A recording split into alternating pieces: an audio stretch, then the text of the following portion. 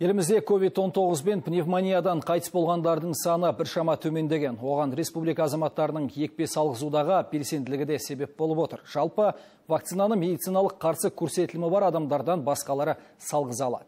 Ал мүгедектік дәрежесі бар тұрғындар дәрігердің арнайы рұқсаты болған жағдайда ғана коронавирусқа қарсы ем қабылдай алады дейді мамандар. Заболевание сопровождаемое судорожным синдромом. Мүгедектігі бар азамат қандай да бір жерде есепте тұрған жағдайда екпе алмас бұрын дәрігердің арнайы рұқсаты керек болады. Нақтылай айтсақ неврологиялық ауытқуы немесе дене құрысуы болса ондай диагнозбен вакцина салғыза алмайды. Ал мүгедектігі бар бірақ ауру деңгейі аса қауіпті деп танылмаса еш қиындықсыз ақ екпе қабылдай беру керек.